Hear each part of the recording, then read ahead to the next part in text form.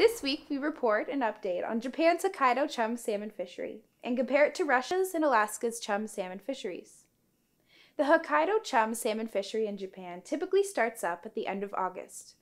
Preseason forecasts out of the Hokkaido Research Institute for the 2020 season is calling for about a 20 million fish to be harvested over the next month or so. The Institute's forecast uses the method of proportion between age cohorts of maturing chum salmon returning to spawn as some evidence for the next year's return forecast. Fishing is typically slow until around mid September, but can then reach its peak harvest within a few weeks by the end of the month. Hokkaido chum salmon are mainly consumed domestically in the Japanese market, and according to data from the Japanese government, 65,000 metric tons of chums, or 16% of the total catch in Hokkaido, went to export markets in 2018. Now for a review of the 2019 season. Just over 17 million chums were harvested in 2019, which is a staggering 76% of the previous year's numbers, where 27.6 million fish were harvested. Fish size averaged about 3.32 kilograms or 7.3 pounds for 2019, an increase from the 3.04 kilograms or 6.7 pounds last year.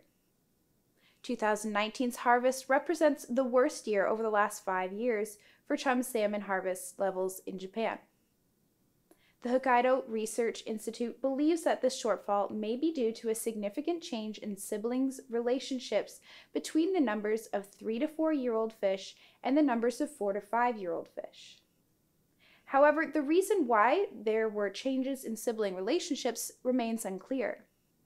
So, how does Hokkaido chum salmon harvest compare globally to other countries?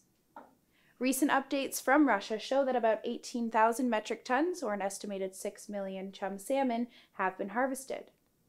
Russia's 2020 preseason forecast was for 113,000 metric tons, or an estimated 36 million fish. In 2019, chum salmon harvest in Russia totaled 112,000 metric tons, or 36.6 million fish, and in 2018, 110,000 metric tons, or 49.7 million fish.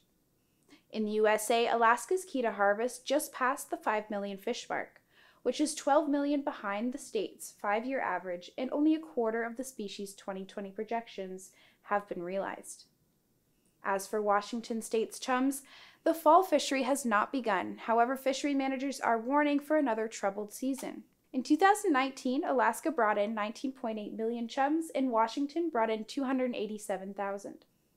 The 2018 season, Alaska brought in 21.1 million and Washington 849,000 chums.